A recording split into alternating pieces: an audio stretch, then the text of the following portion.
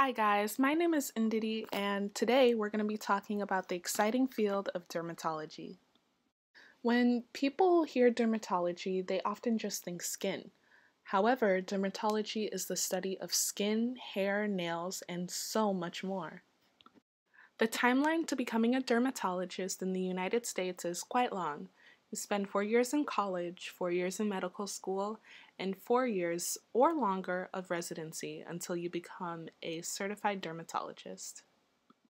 There are so many perks to becoming a dermatologist. Stability is key. You can work a 9 to 5 job and stay home during the weekends.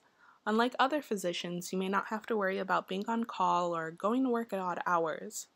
Of all the specialties in medicine, dermatology has one of the highest rates of satisfaction and overall happiness. And again, the work variety is incredible. You can perform life saving surgery on skin cancer, treat hair loss, or work on cosmetic procedures. Being a physician isn't the only way to get involved in dermatology.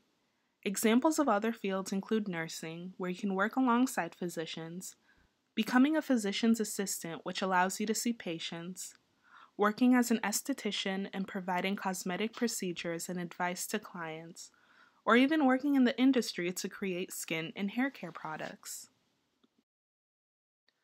Why do we need black dermatologists?